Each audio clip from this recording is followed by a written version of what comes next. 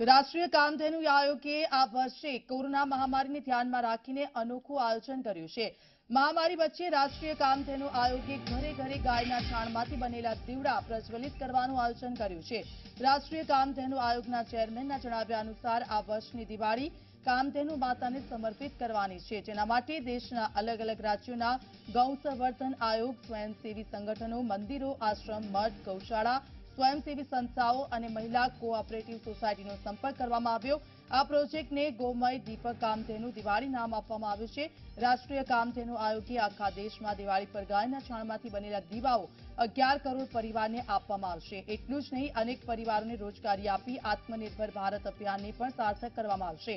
ગાયના છાણમાંથી દીપક, લાભ, શુભ, લક્ષ્મી, ગણેશજીની મૂર્તિ અને ઝાલર બેનરો પણ બનાવવામાં આવ્યા.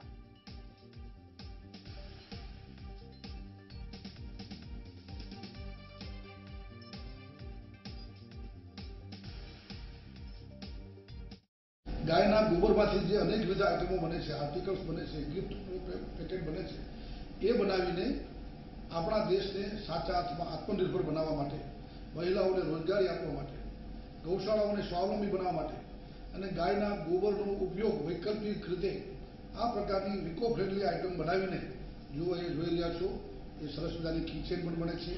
અહીંયા શ્રી શુભ લાભ બનાવ્યું છે. સ્વસ્તિક બનાવે છે. લાખોની સંખ્યામાં બધા લોકો આ પ્રકારના ગોમય દીપક એ વાપરતા થઈ જાય અને હજારોની લાખો બહેનોને, યુવાનોને એના દ્વારા રોજગારી મળશે. એના દ્વારા સાચા અર્થમાં એક એન્ટરપ્રિન્યોરશીપ ઉદ્યમિતા વિકસશે અને માનનીય પ્રધાનમંત્રીશ્રીનું જે મેક ઇન ઇન્ડિયાનો કન્સેપ્ટ છે, ચાઇનાની આઇટમ બિલકુલ ન આવે અને આપણા દેશમાં જ આ ઉત્પાદન બને. હવે તો ગિફ્ટ પેકેટ પણ બને છે.